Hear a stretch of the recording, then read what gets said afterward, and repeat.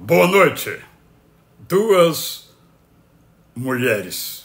As duas Marias, uma delas Madalena, cuja vida passou a valer a pena, sabiam onde o corpo repousava. Um pouco antes, já tinham estado lá sem nada notar.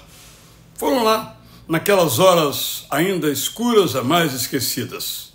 A pedra que o túmulo protegia onde devia estar não estava. Ali estavam e tinham que entrar para saber o que encontrariam. Entraram, mas ele ali não se encontrava.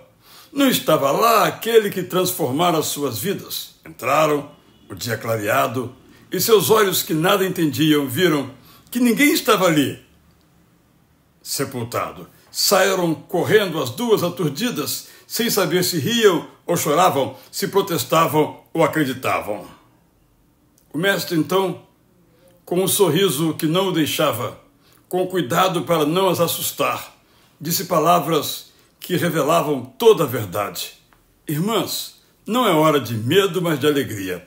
Contem o que viram os meus outros irmãos. Voltem para a nossa terra, onde estarei à sua espera. Só então entenderam a realidade.